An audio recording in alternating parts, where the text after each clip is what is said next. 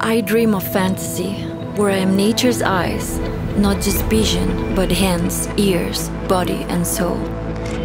I imagine that I create the finest art forms, whispering to the air the secret combination of magnetic elements.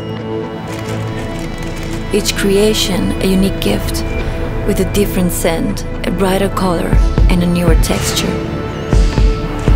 Like plants reaching underwater or flowers seeking daylight. They flow from within me. All my heart's corners become beautiful paintings on canvas. Nature expresses itself with all its complexity, its millions of shades, and yet it is gentle, so inherent in me as my own breath.